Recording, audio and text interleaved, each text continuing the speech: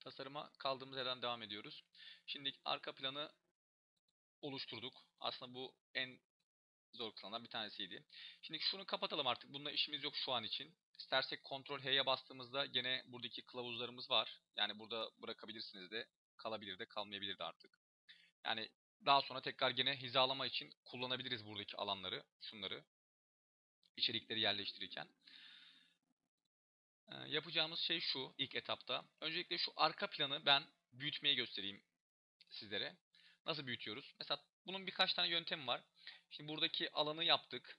Bu içeriğimiz alanında. Şuradaki tasarıma da bakarsak JPEG index layout kısmına şöyle üst tarafta bir boşluk oluşmuş. Ve burada bir resim var. Hemen onu başlayalım. Ben bu resmi yerine mesela internetten farklı bir resim de kullanacağım. Ve yazı tipini göstereceğim size. Çünkü burada menüye, geç, menüye geçiş yapmamız gerekiyor. Artık fark ettiyseniz. Menüyü yapacağız. Logoyu koyacağız. Logomuz var zaten. Ve arka planı yerleştireceğiz. Şimdi öncelikle arka plan için bir site önereceğim size. S X C SXC Who'ya girdiğinizde buraya üye olabiliyorsunuz. Ben üye olmuşum buraya. Şimdi buraya geldiğimizde şöyle arattığımızda evet ben daha önce aratmışım zaten. Baktığımızda burada oldukça başarılı. Üst taraf ve şu en alttaki kısım ücretli olanlar. Nereye gidiyor? E-stock foto. Bu da aynısı. Stok foto dedikleri yani stok fotoğrafçılık dedikleri fotoğraf sitelerine gidiyor. Ama bu şey XC Who'da oldukça başarılı bir site. Buradan çok güzel tasarımlar çıkartabilirsiniz. Tabi İngilizce aramanız gerekiyor bu kelimeleri. Bilmiyorsanız Google Translate'ten kelimenin Türkçesine, İngilizcesine bakıp buraya yazabilirsiniz. Oldukça başarılı. Ben mesela köy diye aratmıştım. Burada onun karşılığı villa, village diye yaz, yazdığımda bu şekilde sonuçlar buldu bana. Ee, buradan farklı resimler buradan seçebilirsiniz. Yani istediğiniz rengi veya buradaki hazır kategorilerden mesela ben Blurs'u seçtim daha sonra. Blurs'tan da daha farklı sonuçlar elde edebilirsiniz. Çok güzel background'lar var. Yani şiddetle tavsiye ediyorum ben size. Şimdi arka planları buradan buldum. Hemen bir başka sorun olabilecek şey. Mesela fark ettiyseniz buradaki yazı tipi. Şimdi öyle bir şey oluyor ki bazen yazı tipi tasarımı yapan kişi ya da kodlayan kişi yazı tipini bulamıyor. Veya eğer ikisini beraber siz yapıyorsanız kullanacağınız yazı tipini de CSS'e veya şeye uygun olması gerekiyor. Bunun için yazı kullanmak için tabii bir sürü teknik var ama en kolaylarından bir tanesi Google. Bunu da göstermiş oldum. Google Web Font diyorum. Oldukça başarılı. Türkçe problem yaşamamamız için Google Web Font'a giriyorum. Buradan Latin Extended'ı seçiyorum. Latin Extended'ı seçiyorum. Buradan da isterseniz buraya mesela yazalım. Ee, ziyaretçi. Şöyle yazalım. Ziyaretçi defteri diyorum. Defteri. Şimdi baktığımızda bakın ziyaretçi defteri Türkçe kelimeler içeriyor. Burada hangisi destekliyorsa sizin yazı karakterlerinizi bunları rahatlıkla kullanabilirsiniz. Burada şu anda bunun kullanımını anlatmayacağım. Sadece niye bunu yaptığımızı gösteriyorum. Ziyaretçi defteri diyor. Bakıyorum tasarıma uygun olan ya da burada beğendiğim bir şey var mı? Bakıyorum ziyaretçi defterine. Şöyle yukarı doğru gidelim. Roboto. Galiba bizimki biz bunu daha önce bakmıştık herhalde. Ben şu anda onu aramayayım. Şurada materyalin içinde vardı. Evet.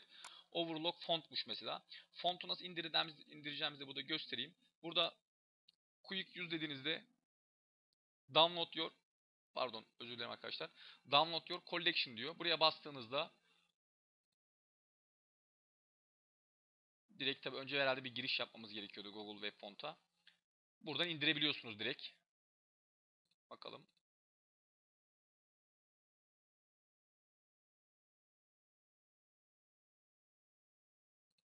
Bakalım nerede sıkıntı yaşadık.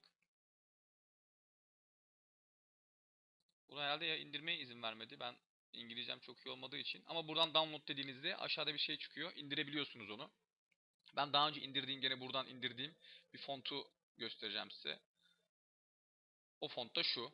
Şimdi fontları tabi hepsi fontun bütün özellikleri back, işte black, black italic, bold, bold italic, italic ve regular şeklinde bütün özelliklerini burada görebiliyorsunuz. Yani şuradaki herhangi bir fonda tıkladığınızda şu kısmı yani condensed, italic, semi, bold gibi. Tabi bunda o kadar yok.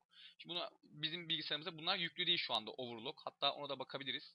Görebilirsiniz buradan. Buraya overlock yazdığımda bakın çıkmıyor.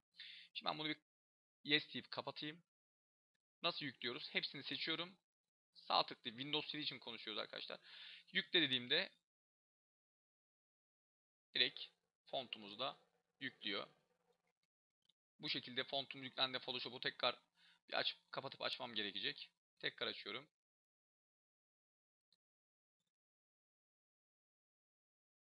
Evet, file kısmına gelip buradan Open Reset'te en son kısmını neredeydi? 968. Bakalım bizim index layout'u. Evet, açıyorum.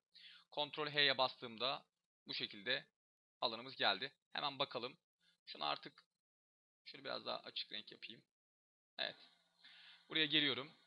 T'ye tıkladım. Overlock kısmını artık yazdığımda bakın overlock ve regular burada. Bold'u seçiyorum. Buraya geldiğimde tıkladığımda Muratlı köyü diye yazdığımda şöyle büyütelim Ctrl 1 ile. Evet bakın yazı tipinin şöyle %100 bakarsak Ctrl 1'e basarak %100 yapıyorum. Yazı tipini kullanabiliyoruz. İşte artık biz bu yazı tipini Google Web Font'ta olduğu için direkt oradan o yazı tipini de bulabiliriz. Yazı tipi aramada hemen onu da bakalım. Overlock'muş yazı tipimiz. Overlock. Evet şuymuş zaten bizim yazı tipimizden dersem. Bunu tıkladığımızda bakın kullandığımız yazı tipi bu. Bunu Quick 100 dediğimizde nasıl kullanıldığını bakın hangilerinin olduğu hangisini seçtiyseniz bunları CS3 komutu olarak Latin Accent'de seçiyorum. Şu şekilde sayfanıza eklediğinizde direkt tipini kullanabiliyorsunuz. Bu bilgiyi de böylelikle vermiş olduk tasarımla beraber. Kullandığımız fontu da önceden belirleyebiliriz istersek. Veya yüklü olan fontları da farklı yöntemlerle de dönüştürebilirsiniz. Bu dersimiz de burada bitti. İkinci derste, yani bir sonraki dersimizde menüyü oluşturacağız. Logoyu yerleştireceğiz. Bir sonraki derste görüşmek üzere.